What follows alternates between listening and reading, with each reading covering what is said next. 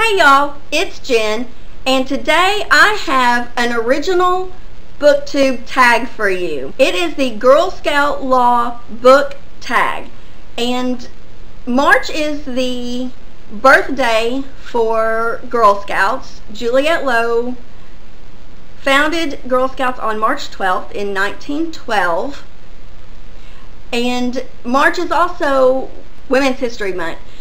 I thought this would be a great time to do this book tag.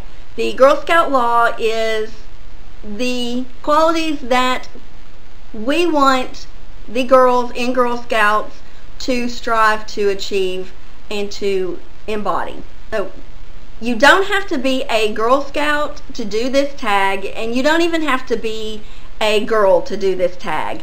This tag is all about positive qualities of of girls that are found in books that we are reading. So with that said, let's get started. Number one, honest and fair. For these qualities, I chose Gaia Stone from the Birthmarked Trilogy. This one was a little bit of a stretch, but in the end of this series, the way this series wraps up, she is ultimately trying to find a way to make the rules and the society that she lives in fair to everybody involved. The men are not treated equally. They are kind of really treated as second class citizens. This is a very much a matriarch society and she doesn't find that to be very fair. Number two is friendly and helpful. For this, I chose Cress from the Lunar, Lunar Chronicles. Cress is always trying to help somebody out. You know, she starts out helping the Lunars, gathering information for the people on Earth.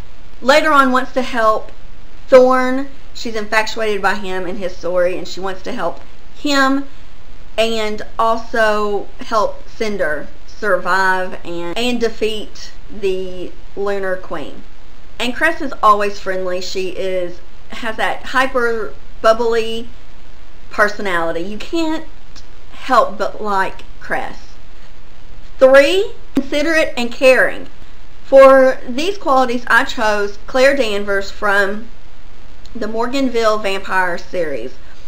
Claire is a young girl who gets thrown into this small town who finds out that it is ultimately ran by vampires. She's really considerate and caring of their needs and their their quirks and kind of the rules of the town that she lives in. But at the same time, she's also very considerate of the vampires.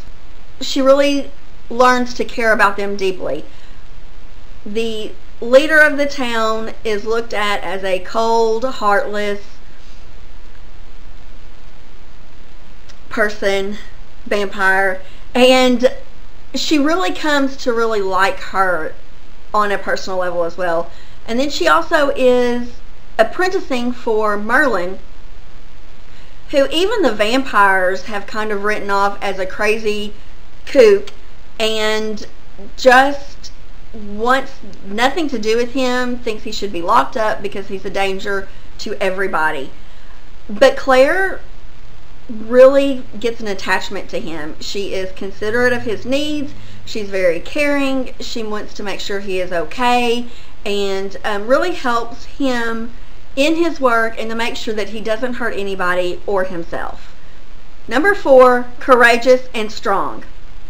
For this category, I picked Katniss Everdeen from the Hunger Games trilogy you have to be courageous and you have to be strong to go into the Hunger Games and survive um, multiple times and not let it change who you are as a person detrimentally.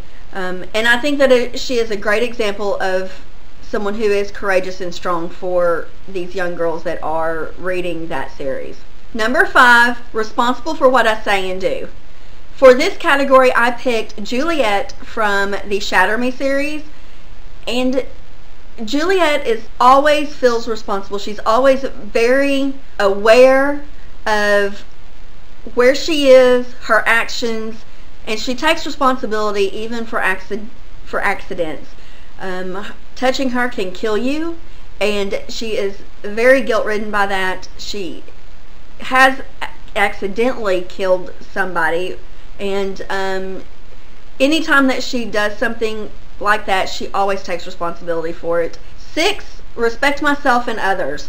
For this, I chose June from the Legend series. June starts out as very much a product of her training and upbringing in her role as a military type role. She doesn't question orders, she doesn't question the reasons behind them until and until she is given orders to kill a family that she does not believe has done anything wrong. And from that point she really questions the her moral convictions to following these orders and ultimately she decides that she can't do it and she goes AWOL um, and becomes a fugitive herself. Think that that is a very strong lesson for girls to learn that we have to respect ourselves, our ideas, our thoughts, our bodies, and not let anybody disrespect us in any of those ways, and we have to stay true to ourselves. Number seven, respect authority. I read a lot of sci-fi and a lot of dystopian books. So finding a book that I felt that a female character really had a good respect for authority was difficult because they're all about rebellion and they're all about um, overthrowing the government and those themes. So ultimately for respect authority, I chose Hermione Granger from the Harry Potter series. Hermione is always really respectful of her teachers, of the rules of the wizarding world, of the rules of the muggle world. Um, all of the lessons that she learns from the books, she always tries to make sure that the guidelines and the rules are followed. However, there are times that she questions those uh, people in authority and their judgments and their reasons for the laws. And in those cases, she does defy the rules and the the authority figures, but she always does it in a respectful manner and she always has a good thought process and good reasons for doing so. She never does it disrespectfully and she never does it just because she thinks the rules are stupid. And I think that's important for our young girls to learn as well, that it is okay to disagree and it is okay to think that rules need to be changed and it's okay to go about the proper channels to change the rules. Um, but you have to do those in a respectful way. Number eight is use resources wisely. And for this one, I chose Deuce from the Razorland series. Deuce is a girl who it grows up in an underground subway society after the world is destroyed. They're kind of some of the few survivors. Deuce learns at a young age that resources are valuable, whether it's food or clothing or whatever the case may be. And so she's always conscious of making sure that nothing is wasted. And eventually she goes to the above ground world and even there she still is very conscious of the way that the resources are used. She doesn't take what she doesn't need. She doesn't use what she doesn't need. She doesn't overindulge. Number nine, make the world a better place. For this one, I chose Agnes from the School of Good and Evil. Agnes just wants to make things better for her, her town. She wants to make things better for herself and for for Sophie. And eventually she wants to make things better for the fairy tale children that at the School for Good and Evil. I think she is a great example of a person who tries to make the world a better place.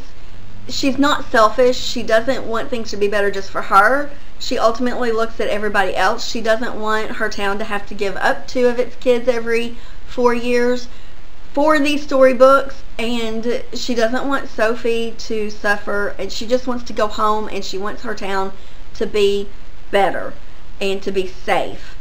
And finally, number 10, be a sister to every Girl Scout. For this category, I chose Winter from the Lunar Chronicles. Um, Winter is a person who is kind to everybody. She doesn't think she is better than anybody just because she's a princess.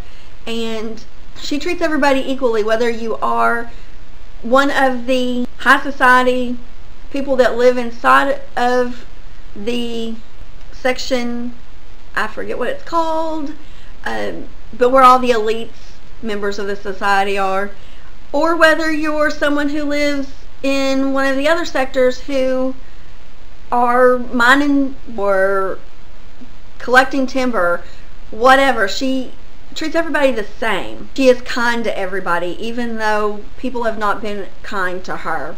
And I think that is really an important quality and really kind of embodies all of these different characteristics that we try to teach our girls and Girl Scouts.